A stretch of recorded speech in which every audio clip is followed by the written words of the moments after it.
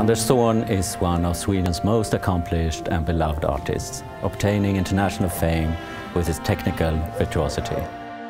This important work is painted in Paris in 1892 and shows the two youngest daughters of Chilean consul Ramon Subercaseaux, Blanca and Isabel.